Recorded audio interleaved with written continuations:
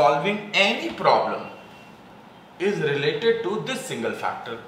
है ना? यानी कि बुद्धि में अगर आप बात करें मैथमेटिकल कैलकुलेशन की, या बात करें पोइट्री एनालिसिस की, या बात करें डिस्क्रिप्टिव हिस्टोरिकल नॉलेज की, ये सारी चीज़ें पॉसिबल हैं इस एक सिंगल फैक्टर से। ये सिद्धांत था किसका? विनय का। हाँ गुड आफ्टरनून ये सिद्धांत था विनय का। और इस सिद्धांत में जो सबसे महत्वपूर्ण रोल रहा, वो था एक एसोसिएशनिस्ट का। एक एसोसिएशनिस्ट का। जब आप जॉन स्टुअर्ट मिल की बात करते हैं, यानी मैं दो तीन नाम बताता हूँ आपको। एक थे जे एस मिल, एक थे जॉन लॉक इसके अलावा टॉमस पेन ये वो थिंकर्स थे जो कि फिलोसफिकली पॉलिटिकली और कहीं कहीं एजुकेशन के क्षेत्र में बहुत महत्वपूर्ण हैं। अब जॉन लॉक को आप पढ़ते हैं जब आप टेबुला रासा का थॉट पढ़ते हैं और जे एस मिल को आप पढ़ते हैं जब आप जब आप बेसिकली इंटेलिजेंस वगैरह की जब आप बात कर रहे होते हैं, कौन से लॉज की यहाँ पे ज़रूरत होती है? एसोसिएशनिस्ट का मतलब क्या होता है? जोड़ना। कई बार आप सोचते हैं कि ये जो टेबुलर आशा देने वाले व्यक्ति थे, क्या वो बिहेवियरिस्ट थे? पर बिहेवियरिज्म तो बाद में आया। तो वो बिहेवियरिस्ट तो हो नहीं सकते। क्या वो फंक्शनलिस्ट थे? फंक्शनलिस्ट भी बाद में आया फंक्शनलिज्म भी बाद में आया। तो क्या वो फंक्शनलिस्ट हो सकते हैं? नहीं थे। फिर क्या वो स्ट्रक्चरलिस्ट थे? पर स्ट्रक्चरलिज्म भी बाद में आया। फिर वो थे कौन? वो थे एसोसिएशनिस्ट यानी जो कि जोड़ करके चीज़ों को समझने में विश्वास रखते थे। उनका मानना था कि चीज़ें एक दूसरे से जुड़ करके ही समझी जा सकती हैं। इस जोड़ और तोड़ की जो व्यवस्था है, इसी को जोड़ा जाता है कहीं ना कहीं जॉन स्टुअर्ट मिल का जो थॉट था। या फिर आपने चारकोट और जोसेफ फ्रायर को तो पढ़ा ही होगा, जब हम फ्रॉइड पढ़ते हैं तब उस दौरान, है ना? इसी तरीके से आपने ग्रैनविल स्टैनले हॉल फ्रॉइड या गाल गुस्ताव यूंग ऐसे ये सब उस टाइम के जाने माने साइकोलॉजिस्ट और फिलोसोफर्स हैं। इसके अलावा आपने पियाजे आपको पता है एल्फ्रेड बिने के साथ 1922 में स्टैनफोर्ड यूनिवर्सिटी में बहुत समय तक उनकी लैब में इंटेलिजेंस पे काम किया था पियाजे ने। So पियाजे was also talking and learning with Binet operation of intelligence की तो गिलफर्ड भी करता है। गिलफर्ड का जो थॉट है वो बहुत बाद का है। हम यहाँ पे ऑपरेशन ऑफ़ इंटेलिजेंस की बात बहुत शुरुआत में कर रहे हैं, जहाँ पे कि हम ये ढूंढ ही रहे थे कि हम इंटेलिजेंस को डिफाइन ही कैसे करें। क्योंकि अभी तक इंटेलिजेंस को डिफाइन ही नहीं किया गया था।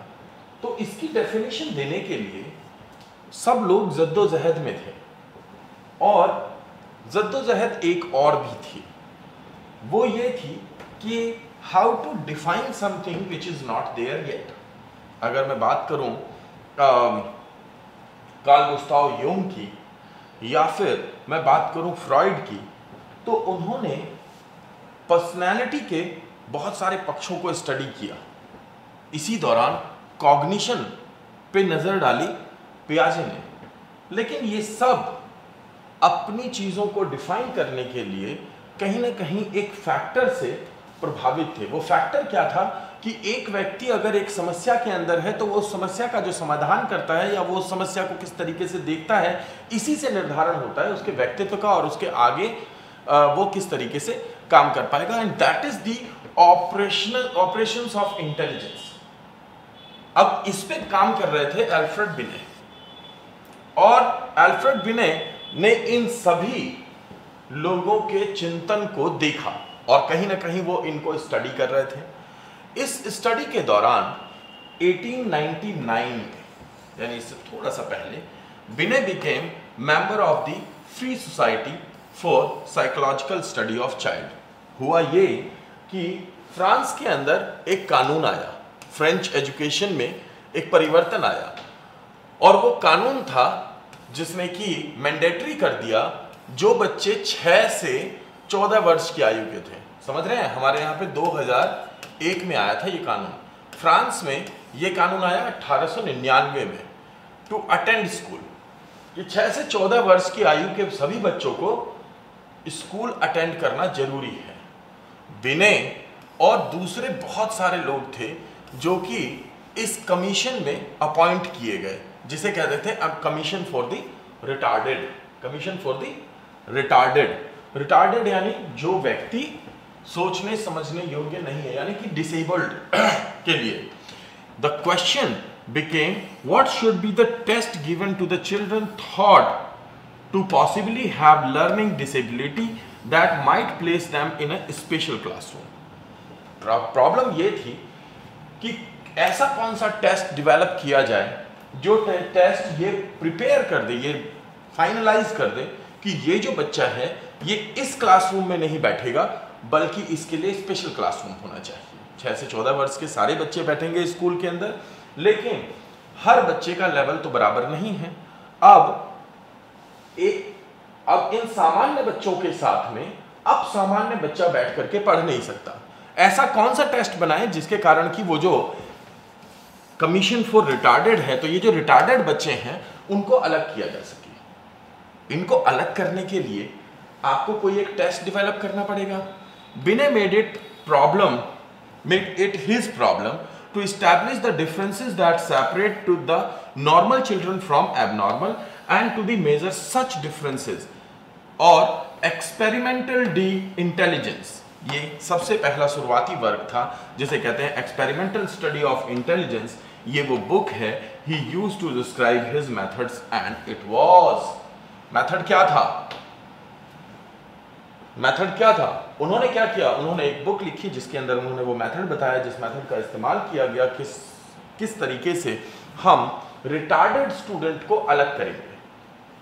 और उसकी इसकी स्टडीज़ को डिफ्रेंशिएट करेंगे। तो बेसिकली अगर आप देखें कि इंटेलिजेंस टेस्ट की जो शुरुआत हुई और इंटेलिजेंस टेस्ट को जो बनाया गया, वो सामान्य से अब सामान्य बच्चे को अलग अलग करने के लिए बनाया गया।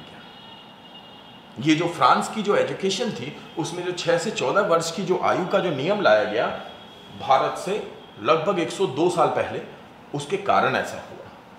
बिने एक चेंज लाना चाहते थे। वो इस सोसाइटी में हर बच्चे को मौका देना चाहते थे। किस चीज़ का? सही एजुकेशन का। और वो सही एजुकेशन क्या है? ये कैसे पता लगेगा? क्योंकि हर बच्चे के लिए उसी कक्षा की एक ही एजुकेशन तो सही एजुकेशन हो नहीं सकती। यहाँ से शुरुआत हुई वो कश्मकश, जिसमें कि विनय को स्टडी करना था हाउ टू डिफ्रेंशिएट अब पहले तो ये समझ लेना ज़रूरी है कि विनय फ्रांस में थे फ्रांस में उन्होंने न्यूरोलॉजिकल रिसर्च में पार्टिसिपेट किया। उस दौरान उन्होंने जे एस मिल या चारकोट, प्राय या फिर फ्रॉइड जैसे लोगों को भी पढ़ा।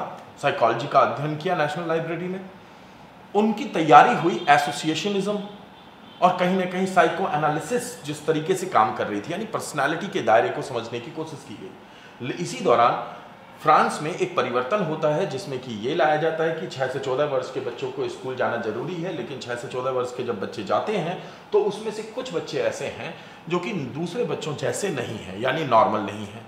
अब इन नॉर्मल बच्चों के साथ दूसरों को पढ़ाया नहीं जा सकता। ऐसी स्थिति में विनय इसको अपना टास्क ले लेता है कि मुझे ये देखना है कि हाउ टू डिफ्रेंशिएट दो स्टूडेंट्स जिनके लिए स्पेशल एजुकेशन की ज़रूरत है। इंटेलिजेंस टेस्ट के रूट्स में इंटेलिजेंस टेस्ट की जड़ में जो है, वो है स्पेशल एजुकेशन की दरकार। ये यहाँ तक हमारा उद्देश्य था समझने का। ठीक है? अब, जब ये किया गया, इसी का रिज़ल्ट निकला बिने साइमल स्केल। एल्फ्रेड बिने और थियोडोर साइमल एल्फ्रेड बिने और थियोडोर साइमन इन दोनों ने साथ में एक रिसर्च में पार्टिसिपेट किया। Comprise a variety of variety of task representative of typical children ability at various ages जो इन्होंने ढूंढा। ये काम चालू हुआ 1904 में। और 1907 में इसका आउटकम आया और वो आउटकम था मेंटल एज राइट सो इन्होंने कहा,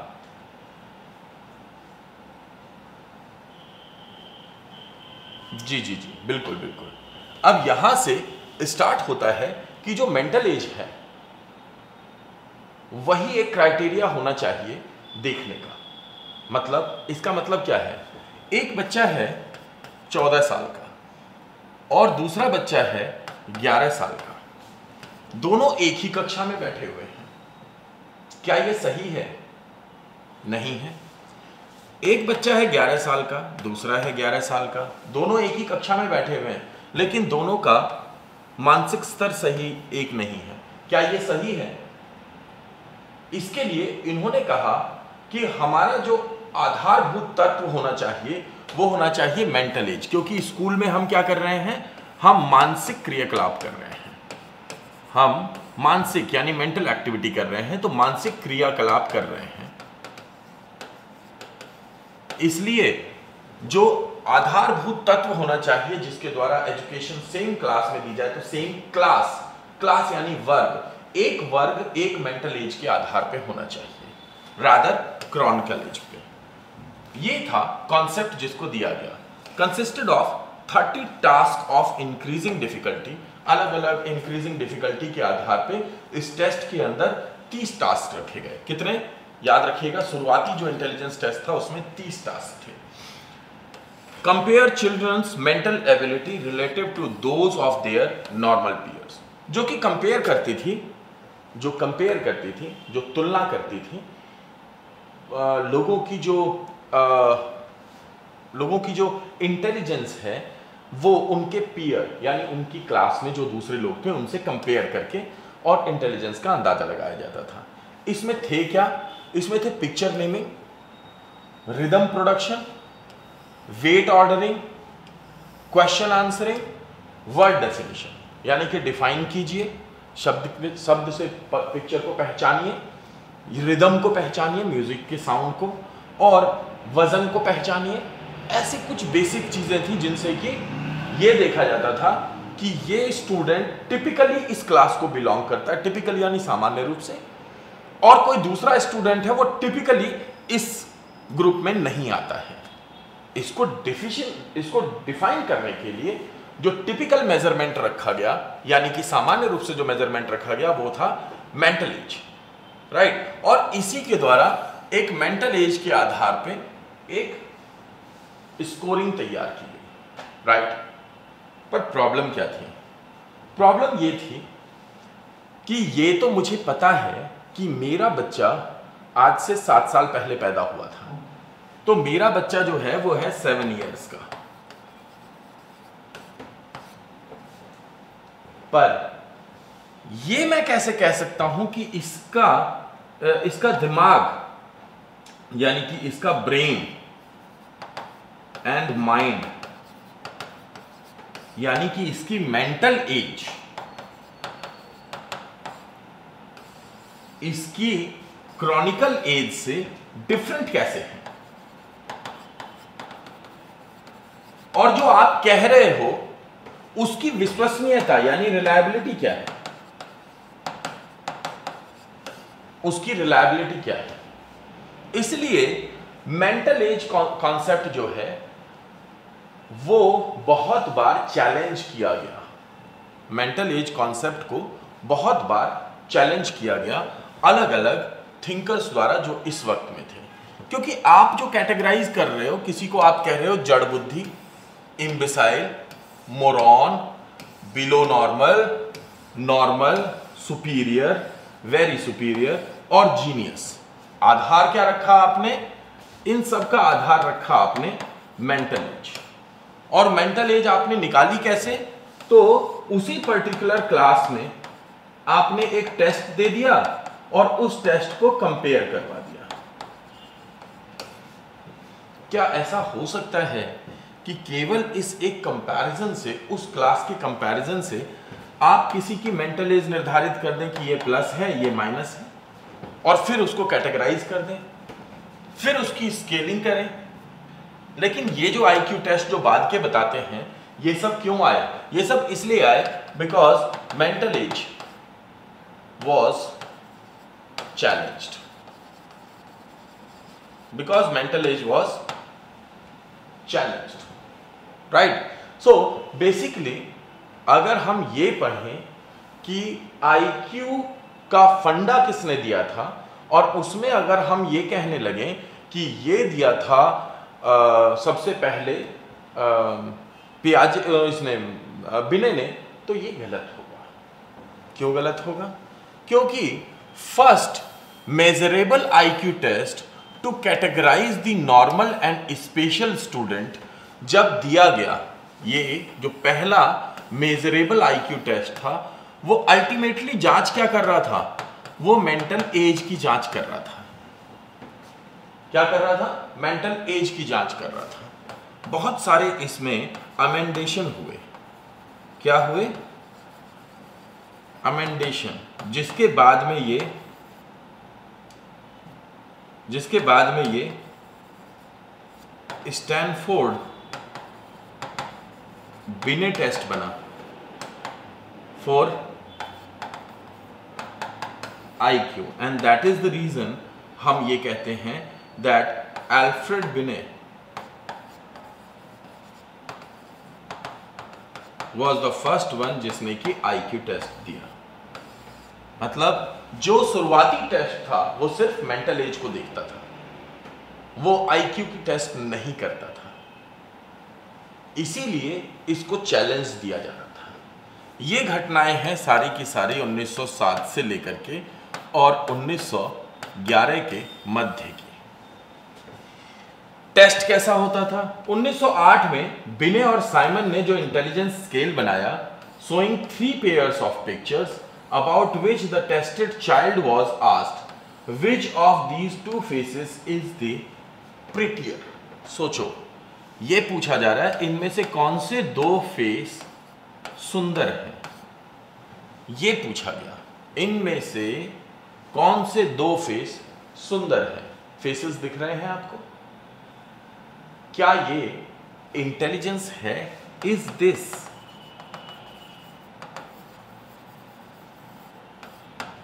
इंटेलिजेंस बट शुरुआती टेस्ट थे तो कुछ तो डिफाइन करना ही था, कुछ तो तरीका होना ही था। तो ये वो शुरुआती तरीके थे जिनको मैंने क्या कहा? बहुत ज़्यादा चेंज किया गया। तो आप इसको चैलेंज मत कीजिए। क्योंकि इसको बहुत बार ऑलरेडी चैलेंज किया गया जिसके बाद नए टेस्ट बन गए। और इसीलिए तो 1922, 24 में बहुत सारे वर्जन्स निकाले गए इस टेस्ट के। है ना? और the practical use of determining educational placement the score on the Binet Simon scale would reveal the child mental age यही था कंसर्न कि एक्चुअल में ये जो टेस्ट थे ये आई क्यू क्यू में क्या होता है? क्यू का मतलब हुआ कोशेंट कोशेंट मतलब कि वो होगा एक स्टैटिस्टिकल एक स्टैटिस्टिकल और रिलायबल मेज़रमेंट और ये स्टैटिस्टिकल और रिलायबल मेज़रमेंट आईक्यू टेस्ट नहीं था। क्योंकि ये सिर्फ़ और सिर्फ़ क्या निकाल रहा था? मेंटल एज निकाल रहा था। क्योंकि इस पिक्चर को दिखा करके आप ये देख सकते हैं कि क्या एज के अकॉर्डिंग काम कर रहा है। वो किसमें था? एक क्लास को ही कंपैरिजन किया जा रहा था। इसमें